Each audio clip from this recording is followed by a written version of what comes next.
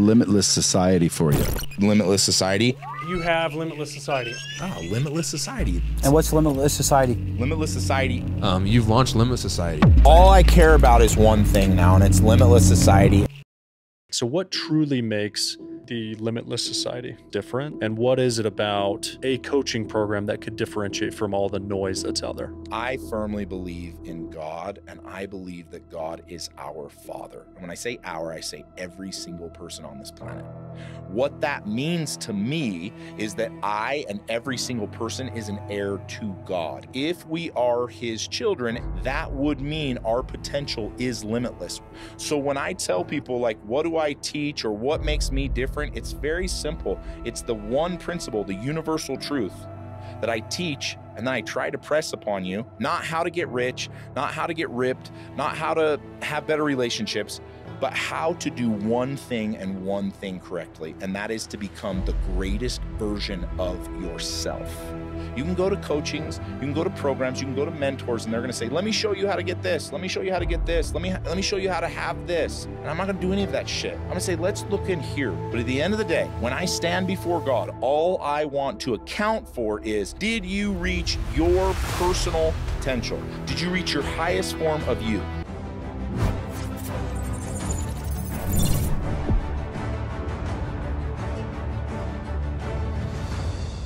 My man, welcome to the Roller Coaster Podcast. Thanks for having me, dude. Great to have you on. Excited. So, something I know about you and something I think the world knows about you is you're well accomplished. You've done a lot of things, a lot of things. and, but I want to know from your perspective, what's the most meaningful thing that you've done in your life up to this point? You know what? I think the most meaningful, there's probably a few, but right off bat, the one of the most meaningful things that I've done in my life was something I had a goal for forever ago, and that was retiring my mom. I actually six months ago, right here on this couch, um, I brought her in and just said, "Hey, I know you have you've had a rough life, and Dad died when we were young, and and I promised my dad when he died that I'd take care of Mom, and uh, I just told her, I said, listen, I'm not going to give you just a, an, a mountain of cash because that's not going to do any for you. Yeah. Here's a, a debit card. You no longer have to worry about money. You you charge it however you want. I don't have a limit for you. There's nothing. Just here's your retirement card. And that was probably one of the most meaningful things that I've done in my life. I mean, there's others that I can think of, but that to me was something I always wanted to do and I always planned to do. And then when I finally accomplished it six months ago, it was like, fuck, man, this is just, it's as good as I thought it would be. Damn, dude. That's heavy. Yeah. That's serious. Yeah. When did your dad pass away? When I was 21, 21 years old, I had just gotten back from an LDS mission. I was a missionary for two years. Um, my dad was actually sick most of my life. I was the oldest of five kids and literally from the time I was eight years old to the time he died, it was always kind of told like, Dad's not going to live forever, and you're going to probably have to be step up and be the patriarch of the family. Um, so on my mission, when I went for my mission, most people don't know about missionaries is you go for two years, you don't really speak to your family other than letters, right? I think it's a little bit different now, but you don't speak to your family. You get to talk to them twice a year on Mother's Day and Christmas. So I literally left on my mission. And when I left, I was thinking that was going to be the last time I saw my father because he was sick. He was not well. But throughout my entire mission, I always got letter after letter. I promise I'm going to be there. I promise I'm going to be there. I promise I'm going to be there. And nobody, not even my mom, believed that that would be the case just because he was so sick and there were so many issues.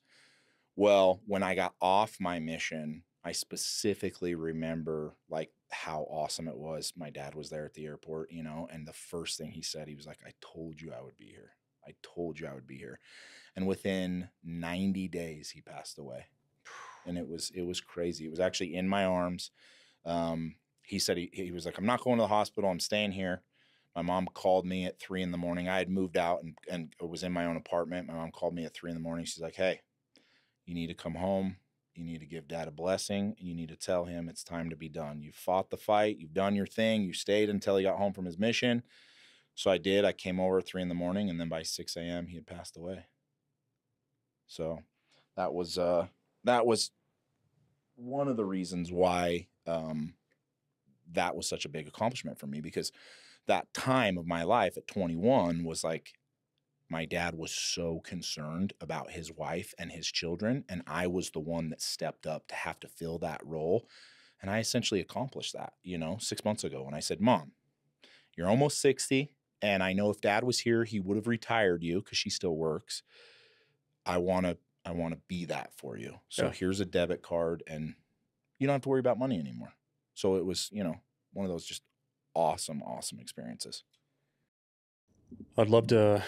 You've got a painting of your dad actually in your office here, and so I've got. I think that's him. yeah yeah right? that's exactly right Um, what's the number one thing that he taught you that you've that stuck with you throughout your life? You know, um, so I have my event in September.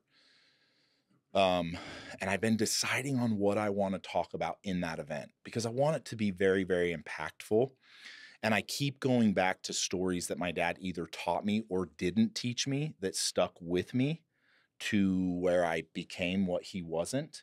Um, and there's there's two principles, and this will this will kind of be both. Yeah. So my father was uh, he was an executioner. He would execute very well, and most people are are good at executing.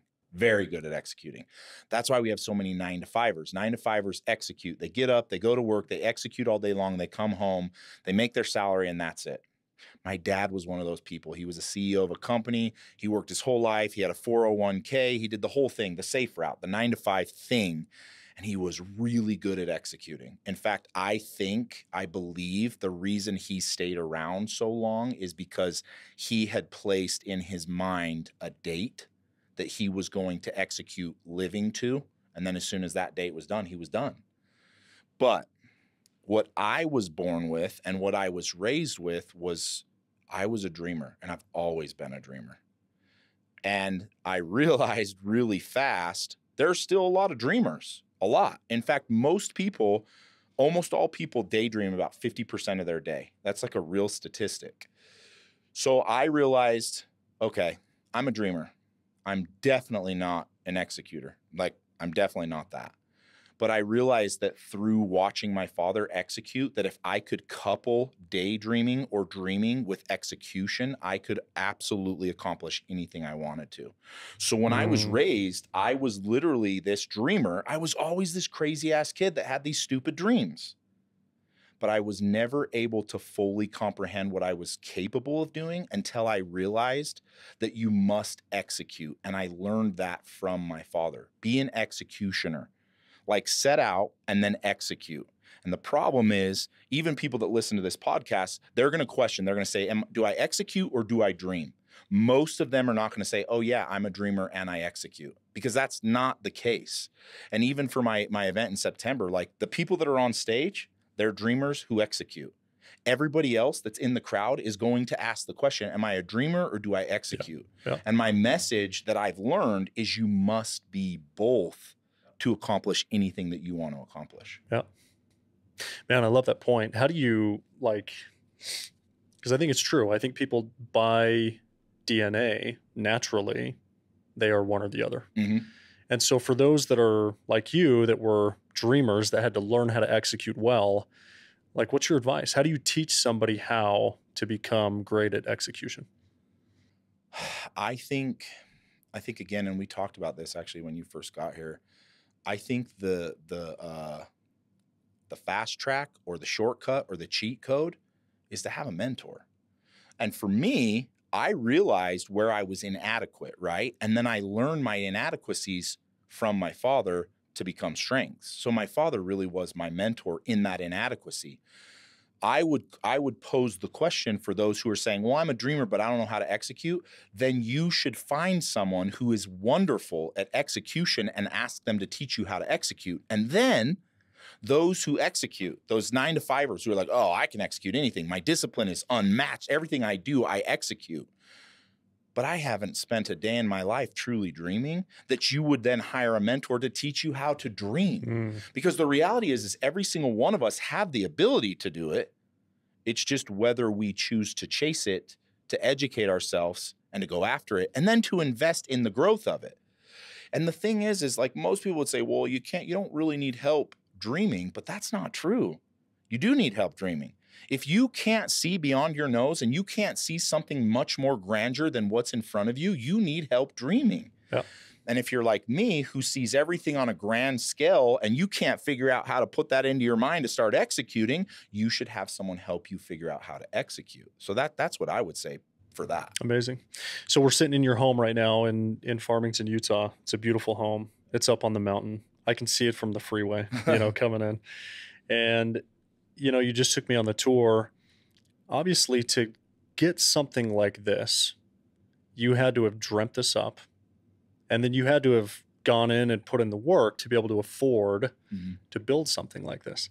So I want to kind of take maybe the audience through a scenario like w- talking about dreaming and then execution. Like, how did this place come Dude, to that's be? such a great that's such a great question because that literally is why I believe what I believe. So I lived down um down on the road where this this first neighborhood was built. I lived in a house. It's a nice house. It's a 1.5 million dollar house. It's a nice house. One night I was dating my wife and um, we jumped in a golf cart and I said, "Hey, I want to show you something." And we drove up here in the golf cart. Now, when we drove up here, it was nothing. It was a hillside and we drove up. It was this windy dirt road. My golf cart could barely get up here, and we got all the way up here, actually right to where my front yard is, where my turf is, because that's about all that was it. It was about a ten foot perch, and I looked at her and I said, "I'm going to build a house here and see this view." I'm going to have this view every single day. And of course, she didn't know then how crazy stupid I am. But she looked at me and was like, Yeah, I don't, you're, $1.5 million house is great. What are you talking about? Like, what? and I had just moved into that house. I was only there for like six months when I came up and showed her that. And I just told her, I said, I, I know that this is where I want to be. This is what I want to do. I want to be on the hillside and I want to have the craziest view and I want to build everything in my home around the view because in my life, the greatest thing I can do is give perspective to myself and for those around me, right? And that's one of the reasons why we uh, like naturally like views because they help us with our perspective. Every day, all day long, we walk around with a phone in front of our face, a screen in front of our face, and our perspective is right in front of our bumper face. to bumper. Yeah. But if I can take you and I can put you up here and I can show you a 50 mile radius that you can see all the way to the end to, it changes your perspective. So I I told her I was like, this is what we're gonna do. Well, I didn't have the money. I've never had the money. People are always like, well, yeah, you had this. I've never had the money ever. What I had was a desire to do something, and then I worked backwards. Everything I did, I worked backwards. So I owned the, the house down the street, and the neighbor across the street built his house. It blocked my view, and I was like, this isn't going to work. I'm going to buy this property. Well, this property was 10 acres, and I think it was set up for a few homes. And I was like, no, I want the whole thing. I never want any more neighbors. I don't want anybody to have the ability to block my view. So I bought the land. No idea how I was going to afford everything, but I bought the land. I, after I bought the land, I wasn't, there was no way I could build the house. So then I went in and I was like, well, how, what do we do? And it was like, well, you can get a construction loan. Well, dude, I'm self employed. How do you get a construction loan? so, dude, I, I went to bank after bank after bank. Finally, I found a new bank with a new program that was like uh, uh, bank statement loans. Because my taxes never showed anything because I don't pay taxes, Yeah. right? Like, not Yeah. that I'm hiding, I just, I'm really good at not paying taxes. Yep. So I get a bank statement loan. Um, they give me a million dollars. A million dollars. Now, if you see my house, it's 10,000 square feet. It's on the side of the mountain. The lot alone was almost a million. They give me the the million, and I'm like, holy shit, dude! I can't build a three million dollar house with a million dollars. There's no way. It's not going to happen.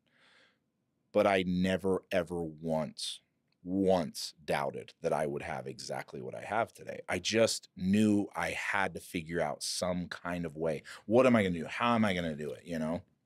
So I was like, well, I'm going to get rid of my contractor. I'll use his license. So I'm going to pay him 10 grand for his license and he can be here randomly, but I'm going to run this thing. I'm going to hire and fire. I'm going to pay the the subcontractors and I'm going to cut where I have to cut to make what I have to make. So instead of building out this huge, wonderful place that you see now, I did it in phases, like piece by piece. I was like, well, let's do the floor. Hey, I can't afford uh, hardwood floors because that's 70 grand and that's 70 grand over my budget. So we're going to do concrete. Uh, I can't afford this. So we're going to do this. I don't want to give in on this. So I need to figure out how to do this. And I essentially pieced everything together. until ultimately I got to the place, and I always made good money. Ultimately, I got to a place where I had spent about one million in my own cash and one million on my my construction loan. So I was two million dollars into it. And I, dude, I still remember we ended up getting married, and right before, or right, right before we got married, we had our our daughter, who we have now, and I had built the rooms in the house for four kids, not five. So like halfway through almost being done, it was like, oh shit, she's pregnant. We have to have. So I had to redo it, which cost me a ton of money. Which again, I went back to the whole like, I got to figure out how we're gonna make this work, you know. So that's what we did, dude. And I built it, and everything I did, I bootstrapped it. I, I didn't have the money. I've never had the money. I've always figured out a way. And that's not to say I don't make money. Like people are like, well, you built a $3 million house. You don't have any money. Right. Like I'm not, that's not what I'm saying. Yeah. But for people who come here and see a five, six, seven million dollar home and a Yeah. helicopter and all that, they're like, oh, Keaton's got $50 million. No, no, no, no, no. I will one day. Yeah. But I have learned how to create what I want with what I have. And that's how I've started all my businesses. That's how I've started everything. Is it's like I know what I want and I know there's a way to get it. Plain and simple. Yeah. It may not be conventional, it may not be traditional, but I'm going to figure out how to get it. And I did. And that's what I did here with the house.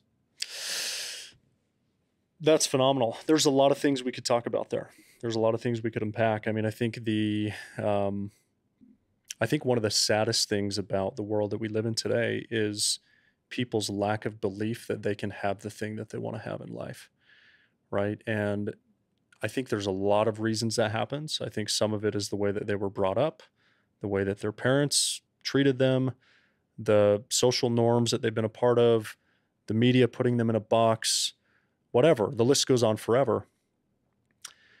What is your advice for somebody who says, I want to achieve a thing, I want to unlock a thing, I want to have the house, I want to have the car, I want to have whatever the thing is, to just figure out how to go and do it and and understand that even if you quote unquote don't have the money, you can go and make shit happen.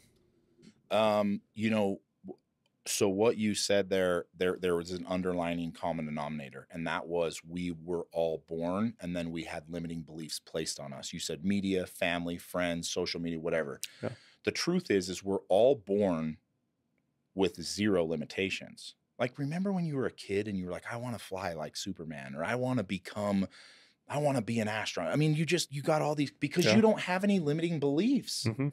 And then as time goes on, you spend time with your family and your friends and people that you know who then place their opinions and influence on you that dictate your belief system. And it's a limiting belief system. And then all of a sudden, you wake up one day and you only believe in this because that's what you were raised or taught with. So, the first thing that I tell people, you know, obviously for those listening who don't know who I am, I, I mentor people. Um, the first thing I tell people that I, when I mentor them is this you are the sum total of your thoughts. What you think you are, plain and simple.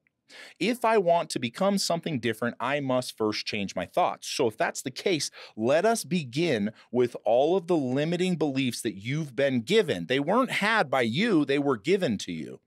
Let's start there and then let's slowly dissect and get rid of them. And then when I get rid of those beliefs, let's build a new system. And the new system can be really simple. The new system is this you have the ability to do and be whatever you choose, anything.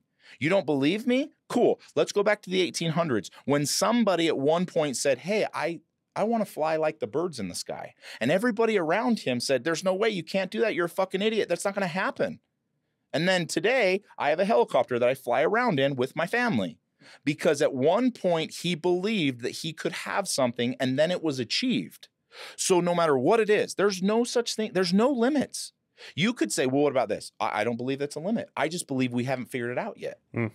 And if that's the case, then when I teach people or when I talk with people, and even those people listening to the podcast, it's like, well, how do I start? Well, you should start with your belief system. We should change the way you think because the way you think is who you are. And if we want to change who you are, we must change what you think.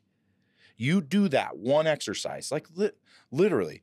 You do one exercise with me and we get rid of your limiting beliefs. Watch how much your life changes in every single aspect. And it's all because you were told by mom that you would never do this and you were told by dad that this is impossible and all your friends growing up told you you'll never become that and you took that in you devoured it and then you made it your own belief system but it doesn't mean that it's true so if we get rid of that everything changes for you Yeah. Amazing. I want to talk about. Uh, so this morning I was working out with a friend of mine named Manti Teo, who you might know, and Manti has a tribal tattoo Mhm. from his, you know, top of his shoulder, yeah half sleeve, whole deal. And I noticed you have a tribal tattoo. I think you have one on your left leg and your right arm. all the way down my back all the way down my chest Talk to me about this yeah because you don't Um, look Polynesian to me. no me. no no and i'm not um i uh when i was 18 i graduated i, I went down to snow college and i my parents just kind of dropped me off there. They were like well he's not really smart so we'll see how well he does but i played football. And i went down there and i uh, i started rooming with with a polynesian kid who he was only 17 and most people don't know this about the polynesian culture but like once you get out of high school your family just kind of drops you on your head and it's like i hope you succeed Yeah, right? yeah. That there's not a lot of huge support you know? Um, so his family lived in alaska. They brought him down here dropped him off. He was 17 years old. Huge huge. 6'3 380 huge.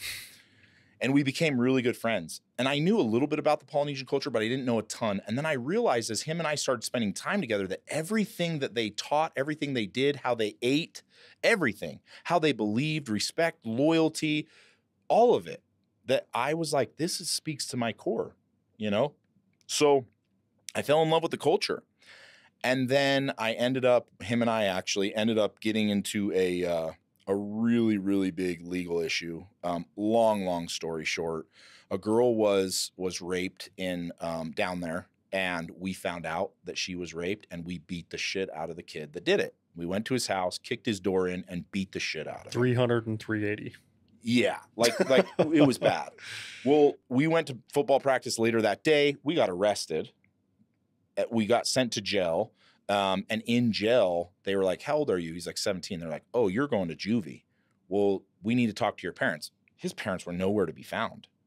So my mom and dad were like, "Well, we, you know, because he had come around, he'd stayed at our house, he'd done all these things. We'll just, we'll become his parental guidance, you know, whatever." Yeah. So essentially, we dropped, we adopted him um, he became my brother in all, all sense of the word. Um, and and then we ended up going to jail. I was in jail for a while. He was in jail for a while. It ended up getting worked out. Um, I came home and I was like, oh, I better get my shit together. So I'm going to go and be a missionary. I'm going to go be a Mormon missionary.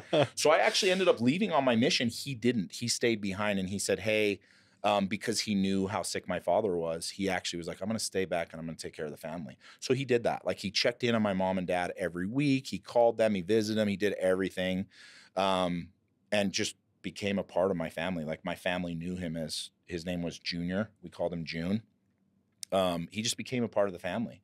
So when I came back from my mission, um, like he got married, I got married, and I actually I named my first daughter after him. His last name was Taya, so my I named my daughter Taya.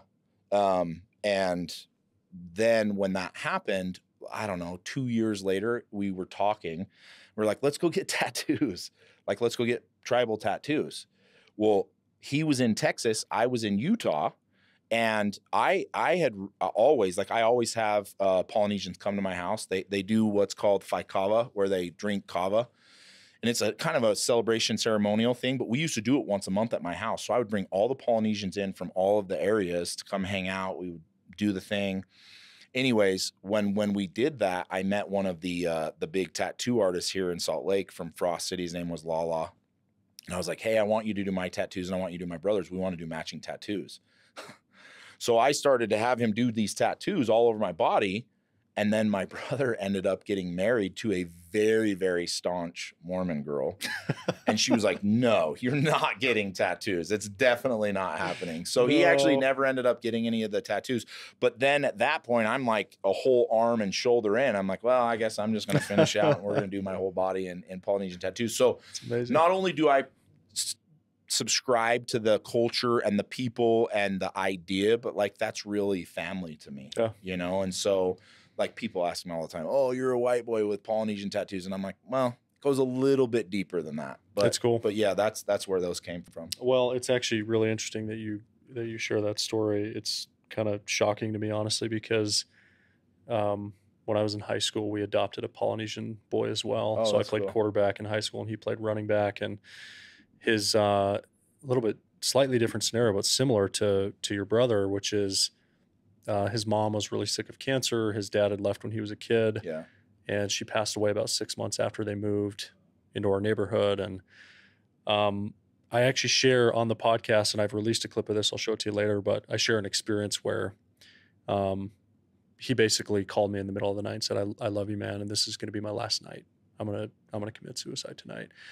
And I remember going out and I found him randomly walking in the street, and and I said, "Come stay at my house," and he stayed there every night since. Right, Yeah. so ended up graduating high school Yeah. by the grace of God and serving a mission and doing all these sort of things. And so we probably have a lot of Yeah. a lot of stories Yeah, that we could but share then with each you other. know like the culture is such a beautiful culture um For sure. it's all about family respect loyalty like like it, it- it's so weird i could call my brother at any time and say hey i need you to come and do something and he would be here in a drop of a hat percent.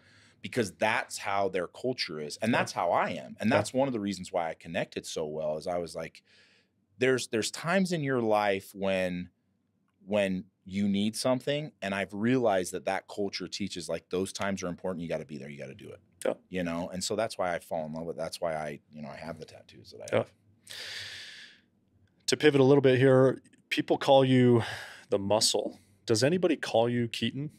Friends call me Like really close friends? yeah oh, no just any friends Okay. like anybody who's a friend calls me keaton and then anybody who's a fan calls me the muscle The muscle. Where does What- this come from? Um, so you know, we had a TV show called Diesel Brothers that just actually finished airing about a year ago, maybe a little bit over a year ago. We did eight seasons.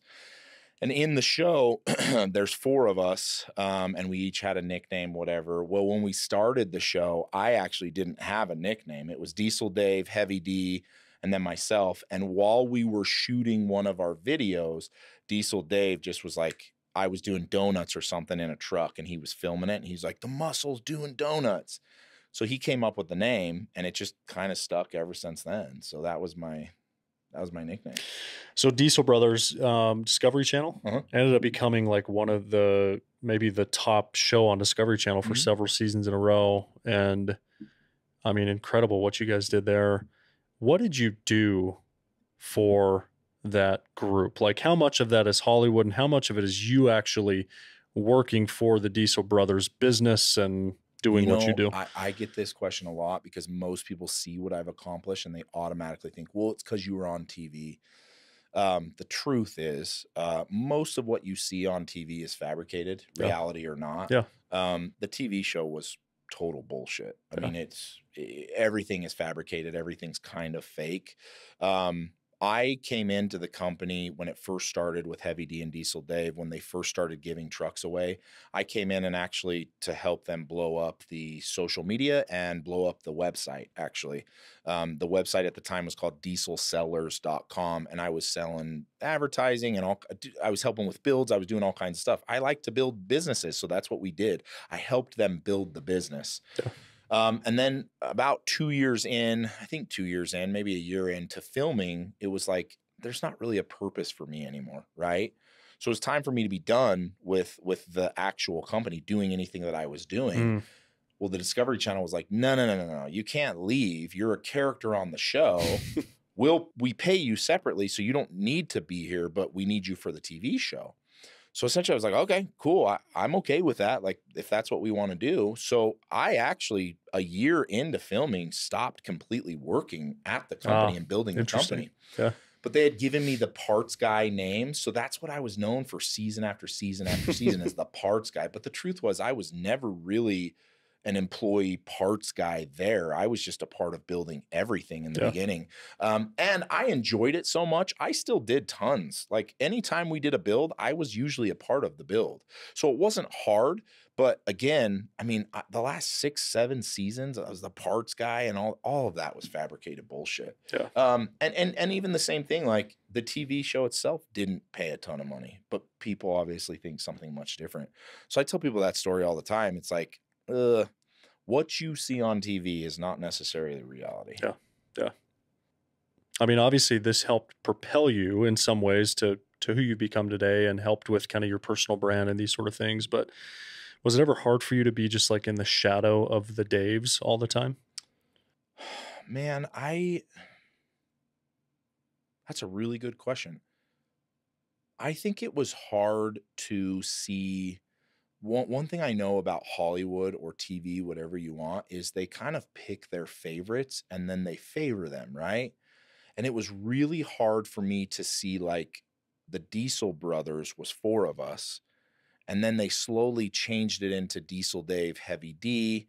And then I slowly became the parts guy that was on the majority of the show. Like Yeah. most of the show was actually Diesel Dave and I. It's not anybody else. Yeah. Um, and that got really tiresome where it was like, are, are we, is there four Diesel brothers or is there two? And if there's only two, then why are you making me film so much? And why am I such a big part of the show?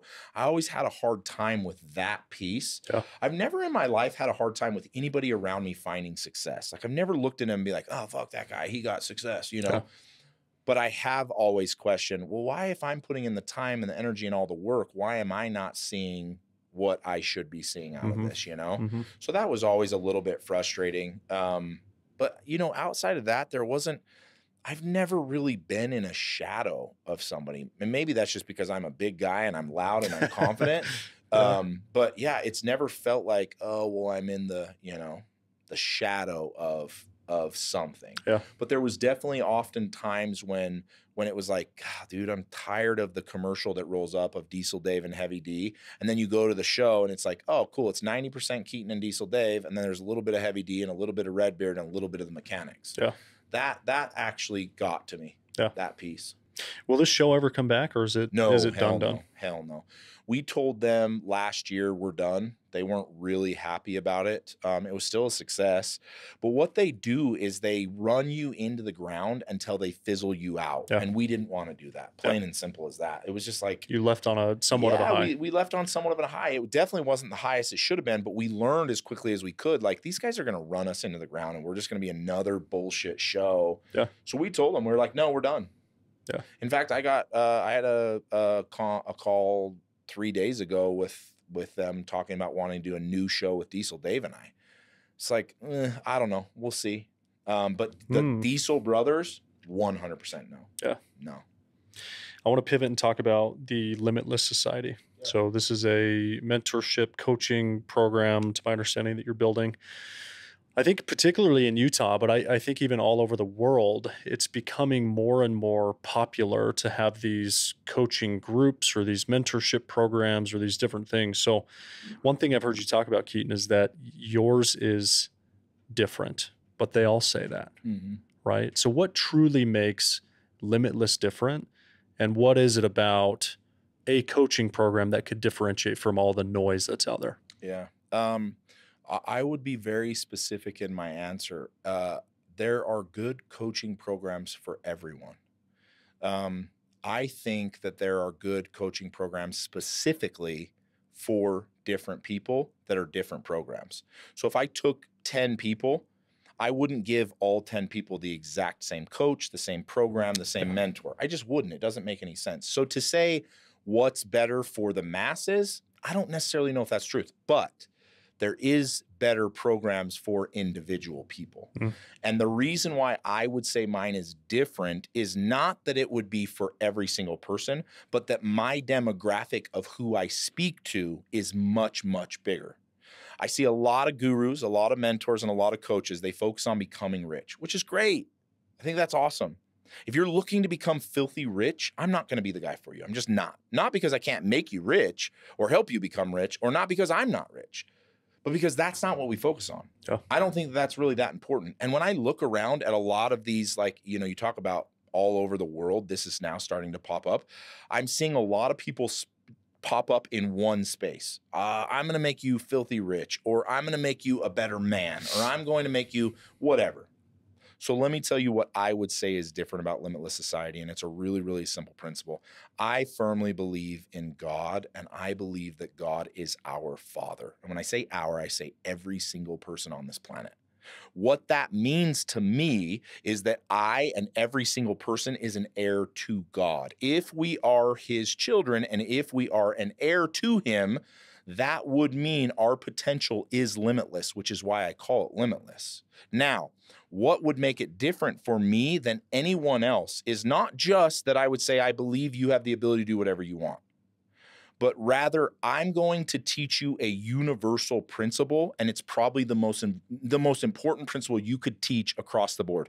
Not how to get rich, not how to get ripped, not how to have better relationships, but how to do one thing and one thing correctly, and that is to become the greatest version of yourself. Hmm. Now, now when I go back to an individual level, every single person is different. Every single person has different capabilities and potentials. But at the end of the day, every single person should work towards their greatest self, their greatest version. And your greatest version is different than mine, Mm. and mine different than his. But at the end of the day, when I die, when I stand before God, all I want to account for is did you reach your personal potential? Did you reach your highest form of you? And if you can say yes and accomplish that, you're going to find peace and happiness and success and money and relationships, everything, Everything will follow. everything. Yeah. And I don't know how rich you're going to be at your greatest version, but I damn well know it's going to be much more than where you're at right now. So when I tell people, like, what do I teach or what makes me different? It's very simple. It's the one principle, the universal truth that I teach and then I try to press upon you and then I push you to become the greatest version of yourself. I'm not going to push you to become filthy rich. I'm not going to push you to become insanely successful in one aspect. I'm going to say, let's turn everything from outwards to inwards and focus on you. And then when I focus on you and I make you the greatest version, everything else that you've ever wanted falls into place. We stop worrying about all that and we worry about this, and then everything falls into place. That's the difference. You can go to coachings, you can go to programs, you can go to mentors, and they're going to say, "Let me show you how to get this. Let me show you how to get this. Let me let me show you how to have this." And I'm not going to do any of that shit. I'm going to say, "Let's look in here." And and I don't know what you're capable of. I don't because it's different for you than it is for me. But Yeah. your greatest version is probably a billionaire, and my greatest version probably has 500 million dollars. Yeah. And I'm not there, and you're not there. Yeah. So then let's get there and let's do it in a group of people that are willing to do that. And that's, I think, what makes Limitless much different than every other noise that you're seeing out there. Amazing. Really well said. Now, do you feel like you have, as kind of the leader of, not kind of, as the leader of this group, the head of this group, do you have the intuition to sort of see and help people understand when they have limiting beliefs and when they're not maximizing their potential, right? Because a lot of people, they may go, dude, I hear you, but I don't know what I don't know about myself. It's hard. I don't, I have no idea how to get there. I don't know what my limiting beliefs are, right? So do you feel like you as a leader have good intuition to help people pull that out? Yeah, I think so. It's actually a really like if they say that to me, I'm in a really great spot. Like if they say, I don't know what I don't know and I don't know my limiting beliefs, because that's never the conversation. It's Yeah. always, well, I can't do that. Yeah. That's not for me. Yeah. That's never going to happen to me. My life would never do that. I'm not that lucky. That's what you hear. And what's hard is to break through that and say, actually, what you're saying is just a limiting belief. And let's just start there. And then the next step is to get them to the question that you asked, which is like, okay, I realize I don't know what I don't know. And I realize I have limiting beliefs, but I don't know how to change it. Mm, That's kind of the next step. Yeah. But the first is that. And and dude, again, with my core beliefs of God and that he's our father, I have zero issue seeing in every single human being pure capability, like pure limitless ability. And and in that belief, if I really believe that, which I do, I'll die over that belief, then I don't have any problem looking you in your eyes and saying, "Hey man, you're probably fairly successful, but I think you have more. I think you have more." I would love to show you because there's very basic principles and habits, but I think you have more and I know that if you put the time in, you will be very, very happy at the version of you that is next week, next year, Amazing. 10 years. Love that. Do you introduce anything? You know, a lot of times you people's brains in their normal state can't get to a place where they can address limiting beliefs in a big way. Do you practice things like breath work or plant medicine or other things to help people kind of open up their minds? Everything. I don't think that there's one correct way. I think, again, you go to the individual. You can't do things by the masses. Yeah. Most things are done by the masses, and the masses work for eh, 60, 70%. So if you work on people on an individual basis, that would mean that every avenue is an actual avenue. You can't shut the door. So if I look at it and I say, hey, man, breath work really works for me. I love breath work. And ice baths really work for me. And saunas really work for me. You know what doesn't really work for me? Is plant medicine or any type of medication. It doesn't work for me. But I don't believe that it doesn't work for somebody else. Yeah. My mom's actually a therapist and she does um, ketamine therapy Hmm. for addiction.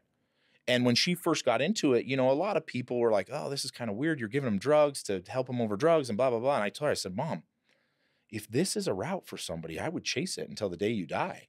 Because this may not be for me, it may not be for him, but there's probably 15 people this week that you're going to help that nothing else would have helped them. Yeah.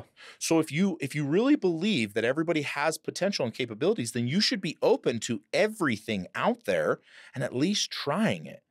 Again, limiting beliefs is when you shut the door on a possibility. Yeah. I'm not the person that shuts the door on any possibilities in any aspect of my life at all. So if someone comes to me and says, "Hey man, I think that this is a route that helps people." Okay, let's check it out, man. Yeah. I'm not going to shut the door on that. That sounds stupid. Why would I teach what I'm teaching and shut the door on something? I have one to share with you that I think is uh, is relevant. I I've always been a black sheep, challenge the norm, don't do what everybody tells me to do, kind of guy my entire life. But I and and don't have many limiting beliefs. But one of them, and I told you a little bit about my story, but software guy, no presence online, nobody knows who I am, and that's pretty typical in in my world. And I end up starting this podcast, and I remember going and doing a breath work journey, the first one I had ever done, one on one guided with a facilitator. And I sit down with her and she says, um, she says, I want you to think about a limiting belief that we can address during the journey today. And I think about it, I think about it. She says, What is it? And I said, I don't believe that my message that I'm sharing with the world can reach millions of people. I've never done it. I've, uh, the biggest stage I've ever been on was a thousand people. I've never like, Yeah. I don't, I don't see a world where that's possible. So we go through the journey, and during the journey, and I'll share some things that happen. She said, if if things get uneasy or you get scared or there's, go to a safe place. Yeah. Right. And it was a mountain near my home in Arizona. And so at the beginning of the journey, I see myself from a kind of bird's eye view standing on top of this mountain, and I'm all alone. There's nobody else there. And about halfway through the journey, I'm back and I see myself again, and there's a small gathering of people at the base of the mountain. And at the end of the journey, I find myself there one more time, and I'm looking down, and there's multitudes of people. Okay. And I come out of this journey, and she says, Hey, tell me about your experience. And I said, It was life changing. Here's why. Here's what happened. And I share this with her. And she says, See, you now know that it's possible. The next day, not even 24 hours later, I sit on a podcast with Jimmy Rex. I share a story. A week later, a clip goes out.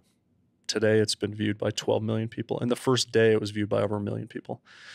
And it was like, all of a sudden, I just went, oh my gosh, like this breathwork thing. For some reason, I couldn't unlock that limiting belief. I went and did that. I realized it was possible. And right away, it was addressed. And now I believe that my message can reach millions of people. dude and that's what everything is about that i i'm trying to share Yeah. like at the end of the day i don't care what it's going to take to get you there but if i could get every single human being where you got after that breath work can you imagine what this world would be filled with And all it took for you was a breathwork session. Somebody else, it might be ayahuasca. Somebody else, it might be sessions with me as a mentor. Somebody else, it might be actually visualizing and seeing. Yeah. There's so many opportunities. Yeah. And none of them are right or wrong on the mass, but some of them are for you and for me and for, you know, and that's essentially, dude, that's all I ever want to teach.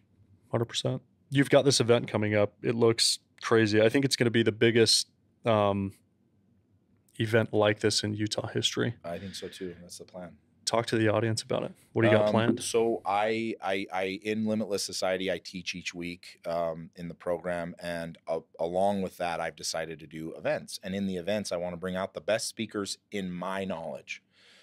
So I decided I was going to fill up an entire arena of ten thousand people, um, and call it the Limitless Arena event. Um, and I was going to have the baddest speakers in my world on the planet, like like what I think is the best speakers. So I decided to throw out there that I was going to have the best of the best. And we've got, I mean, the list is huge. I've got David Goggins, Gary Vee, Ed Mylett, Andy Frisella, Tim Grover, um, Eric Thomas, uh, Jen Gottlieb, uh, Pace Morby, Heavy D, Roman Atwood, Ryan Pineda, Brad Lea. I mean, dude, the, the list is unreal. That's like half of the speakers. And so, what I really want to do with this event is touch people and change people's lives. But I really wanted to, again, challenge my own belief system. Can I do this? I've been in the mentoring space for a year. Previous to this, I started 35 companies. That's what I did. I started and built companies, and I decided it was time to teach the world how to become successful. And I thought, you know what? This is another step in the direction of me understanding, like, very simply, do I believe I can do it? I don't know. I might as well lean into it and let's see if we can make it happen. And I firmly believe we're going to fill that stadium. I don't know how yet. And we got 60 days, Incredible. but it's going to happen. I love it. I love it, man. I hope I can be there. I uh, we're having a baby, obviously, like I've mentioned to you, but I will be there if I can for sure. Um, you've you've talked a lot about God publicly. Um, one of the one of the only guys in your space, to my knowledge, that speaks very openly about your relationship with God. Who is God, or what is God to you? Uh, God is an actual being. He's a he's a person. A personage is. We were created in His image, so I would imagine we are like Him. We look like Him. I imagine He looks like this.